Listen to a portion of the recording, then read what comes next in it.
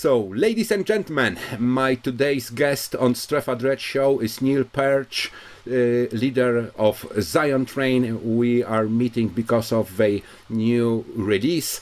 Hi Neil, how is your lockdown, sir? Hello, Maken. Um, it's very nice to see you and hear you. Uh, my lockdown is not so bad. Um, I have two small children. We have a garden. Um, and so, of course, we have no work, um, but we have nice conditions to enjoy family time. Um, I always think when I think it's hard for me, I always imagine the many, many, many thousands of people who it is harder for. People with no garden, with no family, uh, people with zero savings in the bank. Um, so I think even though this is a hard situation for everybody, uh, our version is reasonably comfortable. When do you think you will be able to perform again? Well, that's a very interesting question because um, different people in different countries are estimating different dates. And of course, Zion Train works internationally, so I watch these different estimates. Um, realistically, I think in the autumn, some countries will allow some concerts under certain conditions. So realistically, we can probably perform from autumn. Whether we want to or not is another question because I won't, I will not play a concert and risk anybody's health, mine or any audience or anybody. Um, it's not worth it. Zion Train much as it is my life, it is not worth somebody else's life. Um, so we will see. The, the thing with this virus, as we all understand, is it's new. So predictions um, are not so easy to make. I hope by autumn we can play. I imagine that actually it may be 2021 before we play normally to a normal audience. Zion Train has been on its way for 32 years now. We are at another station. Why did you call your album like this? And what is this black and white design standing for? Okay. Well, the the album title is Illuminate. Part of this is the the um, reintroduction of the real meaning of this word. Illuminate is, of course, to shed light, to bring light whether you bring light by information and knowledge or by actions. Um, so we, uh, as a, a, group of people participating in making this album, cho- chose the, the, name Illuminate because uh, we like to think that in our uh, in our work on an album, we bring our stories, our personal stories. My story as album producer, the singer's stories, the the musician stories, and we like to think um, our stories illuminate, uh, not more than someone else's stories, stories in general illuminate. The truth illuminates. And um, this album is our truth. Of course, like with all Zion Train um, work, the concepts, both lyrical and musical, are not random and they're not about having a hit or uh, being popular. They are about thought provoking. So, this is also why we use the word illuminate. The concepts we have in the constellations of musicians and artists we use, the rhythms and styles of songs, these are all ideas and they are meant to bring light to the listener um, and hence illuminate. Um, the symbols on the on the album artwork, um, first of all, they were put together by Marko Vojnic uh, in Pula, Croatia. Um, so thank you to Marko for his beautiful artwork. Um, first, the you have the, the rays of the rising sun. This is also an illumination. The I know house of the rising day. sun. Yeah, there's also the house of the rising sun, but that's different because that's a brothel now. So um, the, the the the rising sun is a very powerful image, and it's been used through many centuries by many different elements of humanity. Um, the spiral, the Neolithic spiral you see in the center of the design, is the oldest global sign ever recorded by humanity. Um, this sign repeats across Neolithic ancient communities um, from uh, southern Europe to northern Europe, anywhere the Celtic people went, anywhere the South Europeans went. And it's one of the um, oldest um, forms of artwork that we see repeated across the planet. And um, there are many theories about what this sign means. Um, uh, but what's very, very clear is that it meant something very important for human beings. Uh, the best interpretations are that it's an indication of the continuity of life.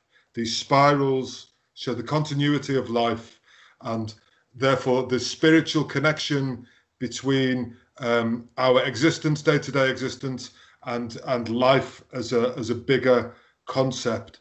Um, so we chose these images mainly because of those reasons, also because they're very beautiful images and they are very strong in black and white. Um, of course, uh, there are many, many stereotyped images that are used in black music, in reggae music, in dub music. And actually, sadly, I find most of the stereotyped images are quite cheap. So, the Star of David, the Ethiopian flag, a speaker box, they're quite cheap and they, they don't really mean very much. Um, and uh, so, what we've tried to do is use images that provoke thought, that are ancient and have been used a lot, and that allow people to maybe go and research for themselves what these images mean and where they come from, because there are some fantastic stories be, behind these images. It's better for people to discover these things for themselves. It all feels like a lot of puzzles to put together. A few studios, nine singers, some players. Was it hard to conduct? When and how long you made it all? Um, this album, from the first steps of this album to finishing the album, was seven years approximately. Of course, some periods of time were more intense than than others. Um, the musicians and the singers all of whom on the album are all top professionals. Paolo Baldini, Paul Lush, Don Fay, Johnny Donito. These guys are super professional musicians. Then people like uh, Kara, uh, Lua, Prince Jamo, Michaela Grena, they're fantastic singers. Um, so the in terms of performing the work, it was relatively straightforward.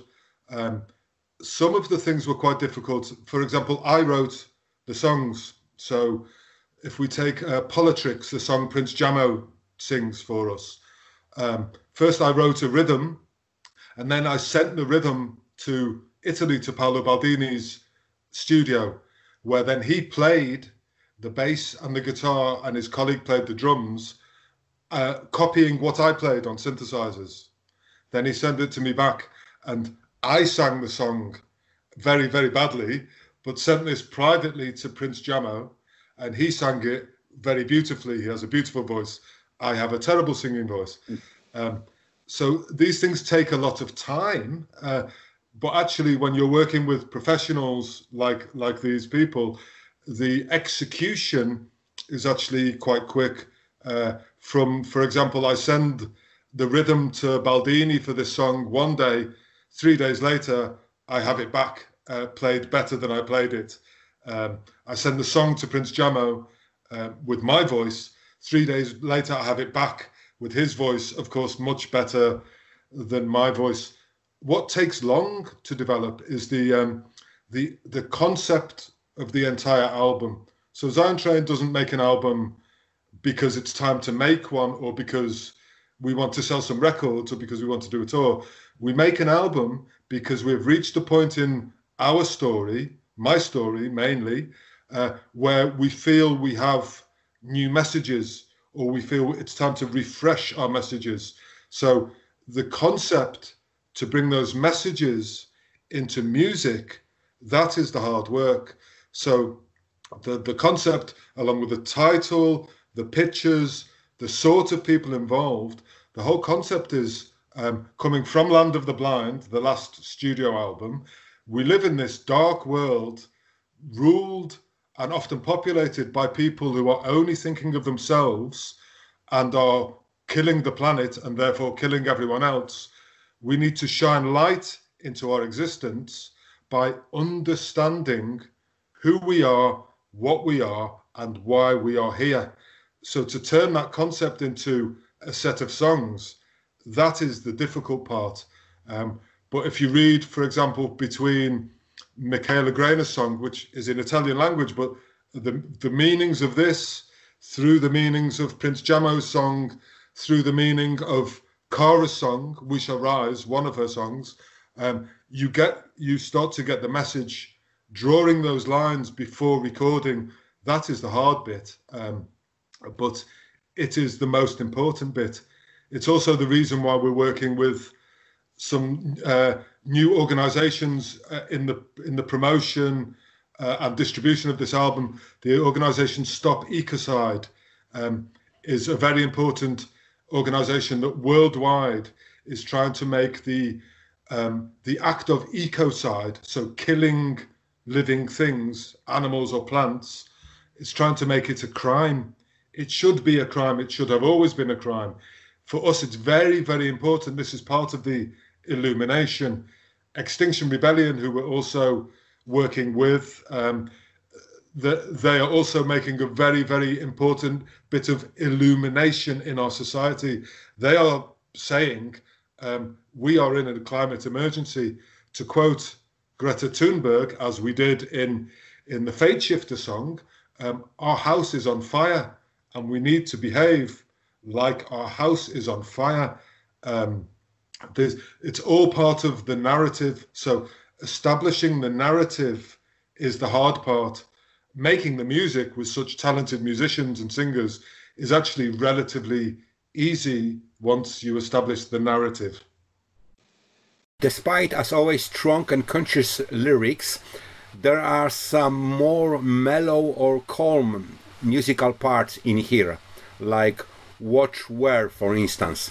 In general, I have a feeling it's quite diverse album, leading to some places where your fans, uh, mostly the people who know you from explosive live performances, could be quite surprised. There are more guitar solos in songs like Don't Forget, instrumental passengers, or uh, free kind of oriental vibes on Journey. Is it also going to change your live performances, the mood of them? Uh, is it going to be somehow reflected in uh, uh, on stage as well? It, the project Illuminate will be reflected on stage. Um, firstly, in that um, Kara, who sings three songs on the album, uh, will be the main vocalist for Zion Train moving forward for the near future. We're also doing some shows with Michaela Grena, um, and that is a, a, physical manifestation of the album. Um, some of the songs will be performed, some of the songs from Illuminate will be performed live. So, in that way, the live set will, will change. However, the live set won't become more mellow than before because something Zion Train has always um, focused on for 32 years really is that music, recorded music for consumption at home or in your car or in your headphones while you walk, that is a different sort of music to music to be consumed with a loud sound system and lots of people and an excited atmosphere. Um, so, as as you well know, our albums have always sounded different to our live performances, whether Molara was singing, whether Dub Dada was singing, or whether Kara's singing. The the live show never really reflects the albums. Maybe one song, two songs, and that's because of um, our relationship with music. Um, when we make music for an album, it's to fulfill one listening experience. When we perform music live, it's to fulfill a totally different listening experience. The sort of experience where you jump up and down, you're excited with your friends, maybe you smoke, maybe you drink, you sweat. You know, um, it's very different to maybe sitting at home with your headphones and listening to an album from beginning to end. Um, so that it will be reflected, but only in the same way as previous albums were reflected in our live show. You mentioned Kara will be a part of your regular live performances. Uh, a person who is recognized uh, with Zion Train in last years obviously is Dub Dada. He is also missing on this album. How would you comment it? How, sorry, what's the, the uh, what's the question? How would I uh, comment uh, on? Yeah, yeah, yeah. Well, Dub Dada has um, been with Zion Train since really pretty permanently since 2001, and he is a fantastic MC and I was always very proud to work alongside him. Um, we have reached a stage, not Zion Train, but humanity has reached a stage where if we are going to speak in public, we need to speak about important things and speak about them in serious ways. We are no longer in a time where humanity can sit back and party and play. We act or we die this is where we are at as humanity. Um, so Zion Train right now as needs as a voice somebody who is politically aware, who is uh, politically um, um, uh, uh, vocal, who who can talk through politics, and who is actively involved in political campaigns such as Stop Ecocide and Extinction Rebellion. Kara is um, a, a, woman from the UK who, in the UK and in the alternative UK scene, she's very well known. She does not come from the world of reggae, which is very important to me um, because the world of reggae is full of cliches and platitudes. Zion Train do not believe in Haile Selassie. Zion Train do not believe in Jah and never did. And with respect to the people who do, um, I, I don't want to play with their faith. What I want to do is talk about our faith. Our faith is humanity, the existence of humanity in symbiosis with the planet, living in a sustainable and uh, continuable way moving forward. And as Zion Train, I feel it is our obligation to make this clear to people. I don't want to perform to sell records or just to make people excited. I want to perform to give people a message. So Kara has this message already without me telling her it. She and I, she and I, we share a message and we share politics. Dub Dada for all his fantastic talent as an MC, his message is much more about um, Rastafari and sound systems. I like sound systems, but they are really are not important. What's important is don't kill the trees, don't pollute the air, uh, don't burn any more coal, stop warming the planet up. They, are the important things. So in conversation with Dub Dada over some time um, during the last years, we realized that the path of Dub Dada and the path of Zion Train are naturally heading in different directions. And so we decided to make this uh, break and pause. As for recording uh, from Dub Dada for Zion Train, you will actually notice the last Zion Train vocal that Dub Dada recorded um, was the song called Roots Man Play for Land of the Blind, um, and also released on the the the, the Money EP, the Money 10 inch, uh, featuring um, uh, Daman from France, featuring Dub Dada, um, and featuring Fitta Warri. Um, that was recorded in 2012. So between 2012, which is actually when I started working on Illuminate, and the finishing of Illuminate, I asked Dub Dada to record for me probably at least once a week, every week for eight years. For whatever reason, um, it, it, didn't happen. Um, I, I, can't I can't answer for Dub Dada. I wanted him to be on the album. I asked him and asked him and asked him. Um, I offered to write songs with him, to for him to write songs by himself, for him to come to my studio and record, for him to record in his own studio. For whatever reasons he chose, this didn't happen. Um, maybe this was just part of our natural evolution into new things. I hope that Dub Dada will record, either for himself as Dub Dada or for other people. Um, I have no idea. Some of those questions he has to answer, I cannot answer. Um, but um, as as you're aware, you have a, a, long history listening to Zion Train and knowing Zion Train. Part of our mission is to move forward, um, both musically and conceptually, and uh, that requires the participants to um, act. You know, no one is. I'm not anybody's boss. I'm a, I'm the producer and director of the Zion Train project, and the participants act by themselves. So they can say yes or no to anything. They can suggest things to me. If they don't, they are no longer participants. This is how a, a collective functions. No, um, so I think it was the right time for Zion Train and Dub Dada to musically go in separate directions. Um, I think Kara is perfect with a capital P for the future of Zion Train.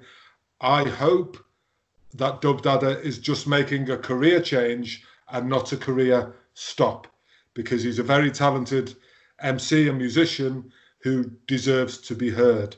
The one other small aspect is um, Zion Train, we represent energy. Yeah, our music represents energy, my energy, universal energy. And to be honest, I don't think it's so cool always being four men on stage representing energy. That's a very specific and particular energy. And of course, it's not it's not my fault. It's not Dub Dada's fault.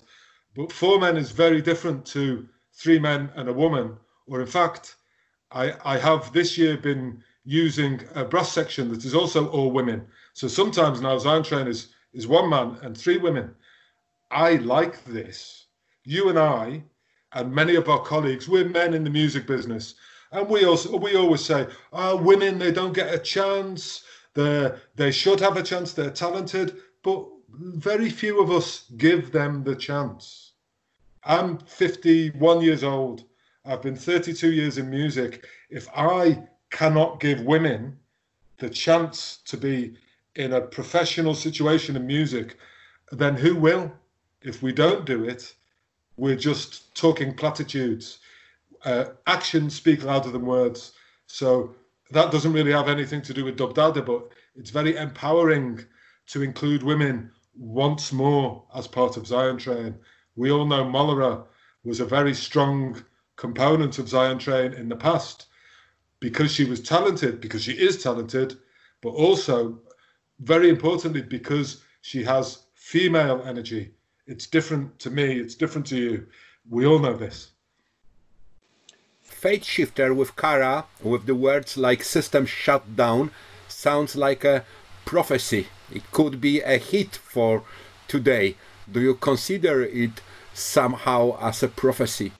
Um, not really a prophecy. Um, it's very appropriate for today's climate. You know, if you want a prophecy about the planet, look to the book written in 1973 by the environmentalist Rachel Carson. It's called The Silent Spring. And she predicted in 1973 what we have now a warming planet, billions of people being made homeless, other people so wrapped up in greed that they will allow people to die just to make them more money the plants dying, the animals dying, the world becoming a desert. That's a prophecy in 1973. What we do, as in, in this case, Zion Train featuring Kara, is we illuminate uh, these facts to people. I don't want to sing uh, or have a singer on my music singing Jah will break every chain again. It's bullshit. And people have said it since the 1950s. No, he fucking won't. Yeah. Time to time to wake up. But we will kill ourselves if we don't change our action.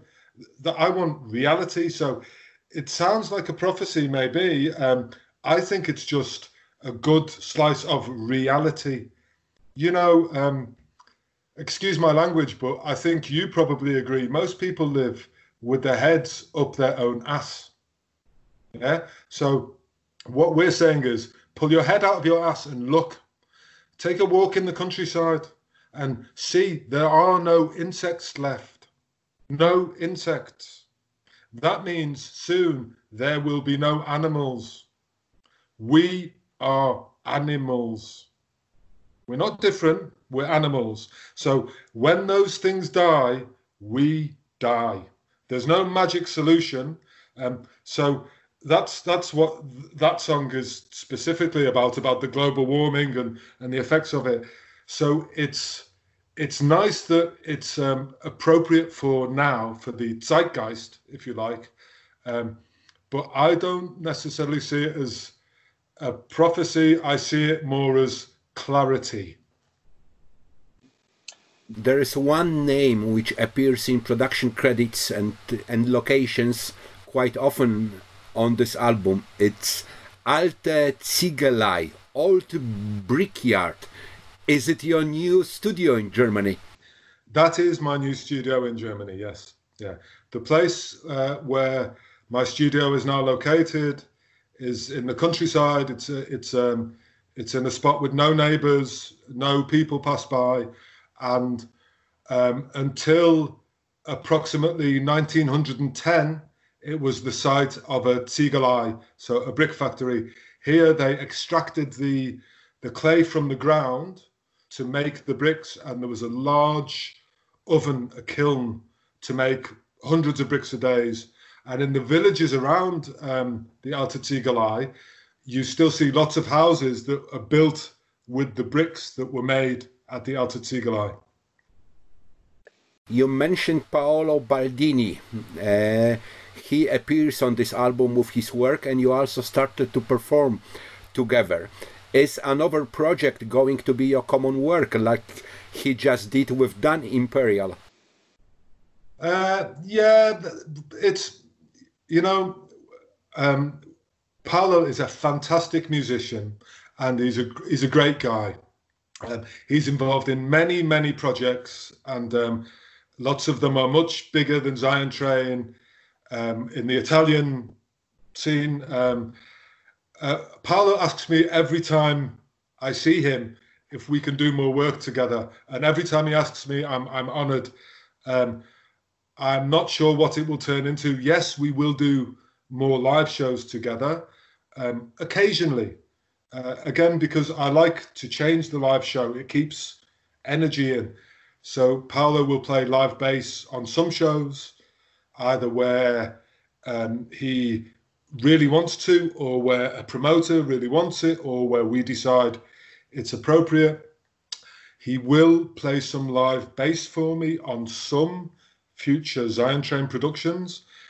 Um, as to a new project, I I, don't know. Um, really, i am always honoured to make music with him. Um, and beyond beyond that, I, I don't really know. He always has good musical ideas. A, a, small story: when I first saw Paolo ever playing music, it was maybe 25 years ago, maybe 22, and he was playing with uh, the band the P the BR Stylers, which also included Michaela Grena on vocal, and they were doing a cover version of Zion Train's "Building Rome."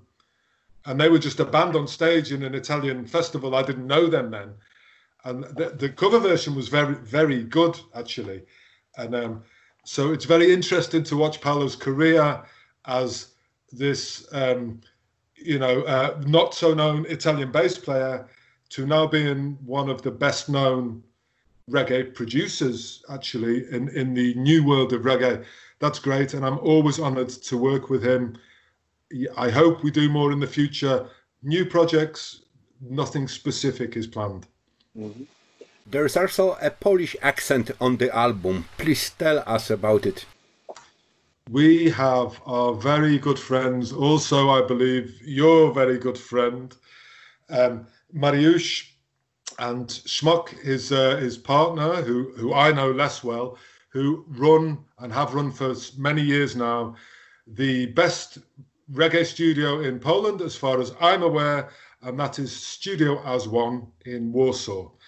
Um, uh, the guys have done mastering work for Zion Train for several years now. And of course, they were the first people I thought of when it came to mastering uh, this album. So the when all the tracks were finished at the Alte Ziegelei, when I had mixed them, then they were sent as pre-masters to Warsaw, and uh, the guys worked on them polished them and mastered them, so they're fully responsible for um, uh, for a, a, strong element of the sound.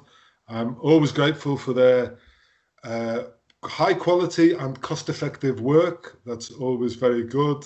Um, I, I also like, as, as a general thing, I like people to realize um, the international base of Zion Train, the reggae world the music world, the bass music world, is very Anglo-centric. And you also notice for the first time ever, there is a song not in English on this yes, album. Italian. Italian. It's got some very, the words are very beautiful um, uh, when, when translated into one's own language. Um, I don't like the Anglo-centric global perspective.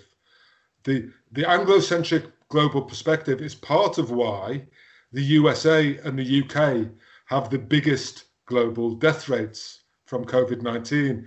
The Anglo-centric perspective is a very arrogant worldview that many, many, many people in the music business have. Groups, agents, record label, and it is it includes a sort of um, an arrogance that thinks that things that come from an English language base are better. Of course, they aren't better, they're just different. And I want all of the people who know Zion Train and listen to Zion Train in all of the countries that aren't the UK and aren't the USA um, to know that we value their culture. And so we have a Croatian graphic designer we have a Polish mastering studio. We have Italian musicians. We have, you know, also all sorts of musicians. But we have a song in Italian. Uh, we reach into global culture, and we try and re-disseminate some global culture. Uh, our culture, Zion Train's culture, is not reggae culture. Zion Train's culture is not English culture. Um, if Zion Train has a, a, a culture like this, it's more of the uh, global free spirit, free festival, non musically aligned, non religiously aligned, free folk. Um, that's our culture. And we want to remind people that's the culture we live in. So we don't mention Jah. We don't have Ethiopian or Jamaican flags on the album. Uh, we don't have Coptic, so Ethiopian church designs. Um, we don't necessarily use patois, Jamaican English. Each of our singers sings in their natural voice. So some of them are like Brother Culture is naturally a patois MC. Um, Rider Shafique is naturally an English guy uh, who happens to have Caribbean roots. Um, we're about moving forward. We're not about reaching back to old stereotypes to because we're not confident in ourselves. We are confident in ourselves. We are confident in our message, and our message um, is part of the new global message that we have to survive as with humility and respect for the planet and all living things around us, money cannot be more important than life, whether it's the life of a bird or a human being or a fish. Money cannot be more important than that.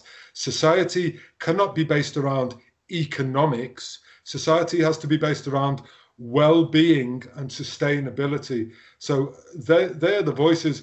Everything in the whole concept of the album, from the title, the inclusion of different languages, lots of different artists, um, the inclusions of different musical styles, the inclusions of globally recognized signs in the graphic design, they all um, lead to one message which is actually probably best illustrated in the song Unity with Prince David singing. Um, uh, Prince David is uh, normally at home with the Moa Anbessa crew from Venice, Italy, and they make heavy roots reggae music in the style of Aba Shanti, so very um, Rasta based music. Um, I have very little interest in Rasta based music. However, Prince David has a very beautiful voice. He's a fantastic singer.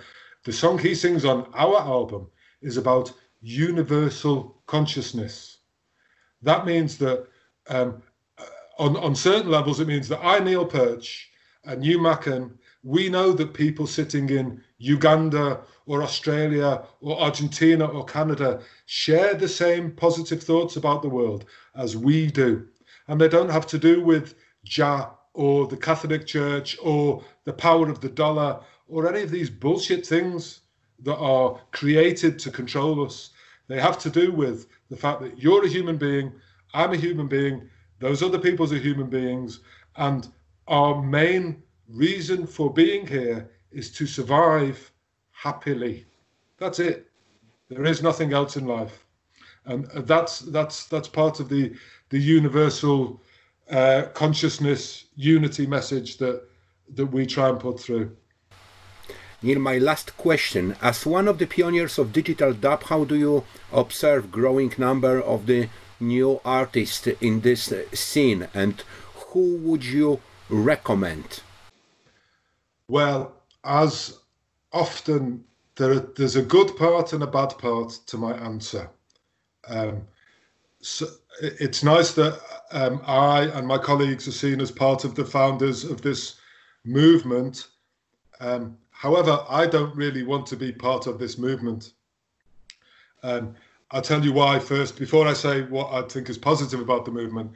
We've now got to a situation where um, the situationists in, in the earlier last century in Paris, they would say that the dub movement has become part of the spectacle. It's no longer a protest movement. It's very rarely a DIY self determination movement.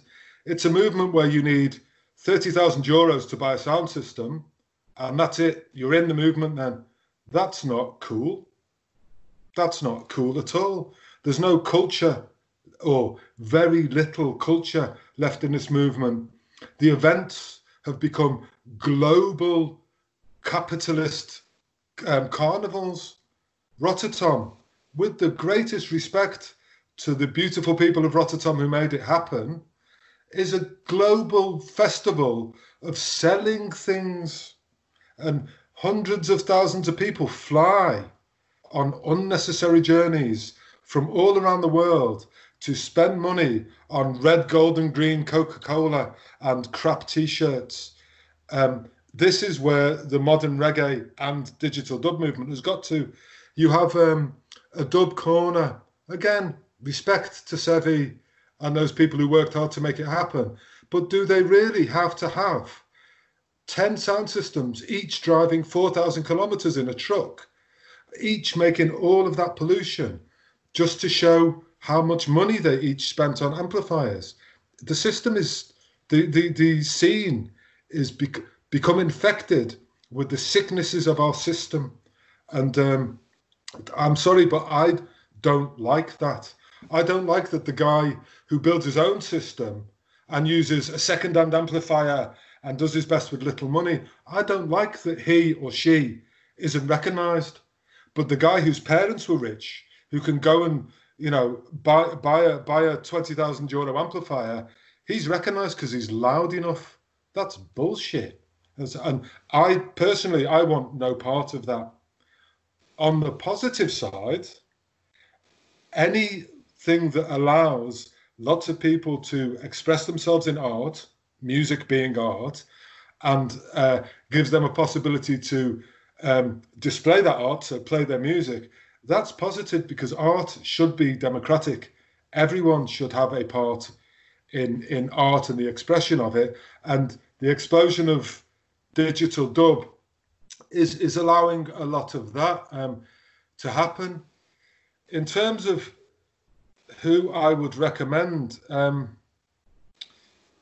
I'm left very short for answers because even though there are lots of people making well produced music, I hear no new ideas. If you want old, if you want those ideas, like if you want this, this the idea of steppers, go and listen to Dread and Fred from from 1988. Don't listen to something recorded now that copies them but is 10 BPM faster. I'm sorry, but ideas are original. So if you want roots reggae, don't listen to Alborosie. Listen to Lee Perry, Black Ark, for crying out loud. If you want the real energy of the thing, listen to the real thing. Don't listen to some cheap imitation watered down through years of capitalist exploitation. That's not what it's not what the scene is about. It's not what dub is about. It's not what reggae music should be about, and it's certainly not what politically motivated protest music was ever about. So my recommendation for people who want digital dub is go and see your local sound system.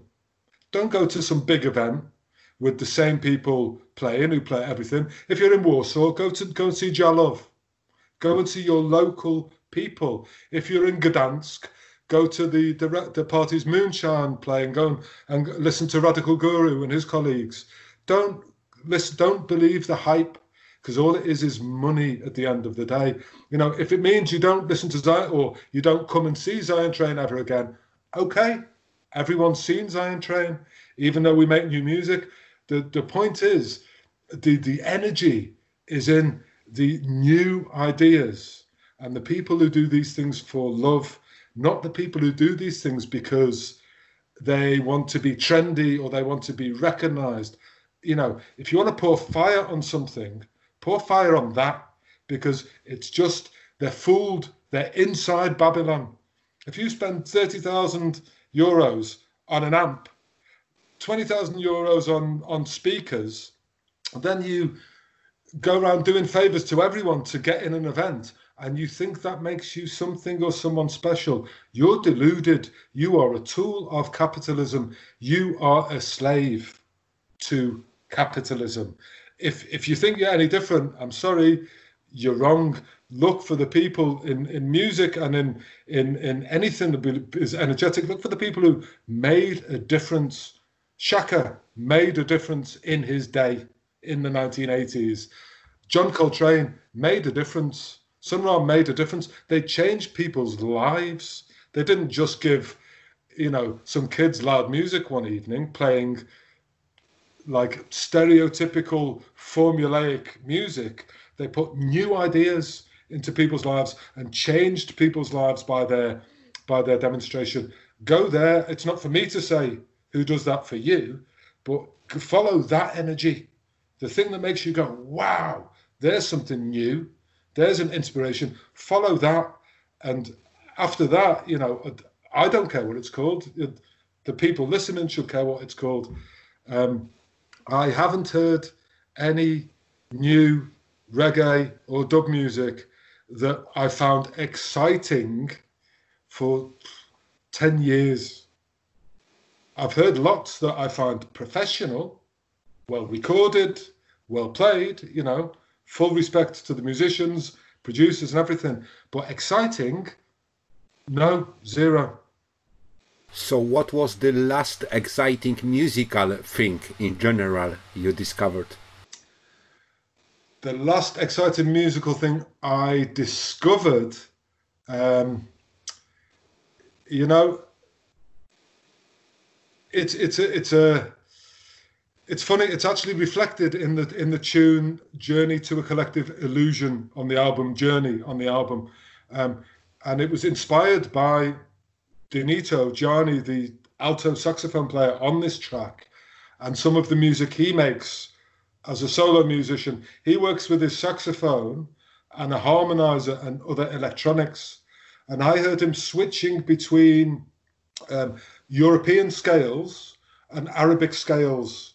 And that was really exciting because for me um, it represented a, a, like a lesson in culture. So maybe the same way as jimi hendrix at woodstock playing the star spangled banner represents a lesson in american foreign policy um, this represented for me a lesson in modern global politics uh, our cultures are so intertwined and magically intertwined that really it only takes some focus to switch between the beauty of European culture to the beauty of Arabic culture, Islamic culture. Actually, for most of our lifetimes, we've been taught that Arabic culture is the enemy. Um, and this was a really nice point in music to turn over the whole of that preconceived thought. See, for me, those things are exciting. Things that go into my head and change my narrative a, a bit. So then I see the world a bit differently after hearing that music. So um, Gianni uh, Denitto in in that case, um, and it's all about the provoking of thought. So it doesn't have to be a famous artist or a popular artist. Um, you know, for example, your colleagues, the Warsaw Village Band, if somebody sees those people playing at an international festival like WOMAD, so not in Poland, someone who has no Polish connection in their own culture, immediately, if if you have a mind, you start thinking about old Polish culture. Where do these sounds come from? Where do these songs come from? It's thought provoking. It's culture adapting. It's um, it allows us to strengthen the bond of humanity in places where maybe we didn't think we had bonds. Um, and that's what I, th- I think is exciting in music. Um, I don't think music business or the sound system world is very exciting at all at the moment. Um, if if it, if you're maybe I'm maybe I'm talking too much about the theory um, in terms of the actual people performing in my sort of um, world, musical world now, um, what I felt was a breath of fresh air uh, rather than exciting, but a breath of fresh air is Sinai sound system from Sheffield in the UK. Because there you have a, a, a, a, hum, a humble guy, uh, the guy who runs the sound system, Hugh, who isn't making himself big as a personality at all, as far as I can say. He's not shouting about himself on the microphone, um, but he's providing the highest quality sound system um, in those self-built sound system world that I've heard for a long time, and he's doing it because he understands the technology. That's quite exciting because it's much more real than say some of the people who are hyped or some of the people who spent more money than him or some of the people who hype themselves a lot. Um, and he's not shouting about this religion or that religion. He's just playing good music none of it produced by himself but that is um, refreshing rather than exciting because it's how it should be um, you know someone who is passionate about the technology and the music, but who puts their self, their personality, their ego to the back and just presents the music uh, high fidelity, high volume. That's refreshing if you want something in the sound system world, but then you'd have to travel to Sheffield to see him if you want him to be local to you. So, uh, the world is changing, Maken. Um, I wonder I, I really wonder whether I can justify a trip, for example, to Mexico to play music for 500 people five times in you know five continents in Mexico. Can I justify that as a human being who lives on this planet that is burning? I don't think I can. So I cancelled my last two tours to Australia with some stress from the promoters because I said it's not worth it for Zion Train to go to Australia and burn all that fuel and do all those miles and play then okay to some really nice people at some really nice events but why? You know what what what is there to be gained? The people can hear zion train on the internet. Yeah um i've i don't need to go to australia. The only thing that really benefits if i go to australia is my ego my ego cannot be as, as important as the planet mm. so i cancelled the tours so even myself i'm in a an interesting moment as to the future of Zion Train. Maybe Zion Train will only play in Europe from now on, or maybe we'll do one farewell tour in Japan. I don't know. Um, but the questions are no longer who wants to hear Zion Train play. The questions are can I justify those actions?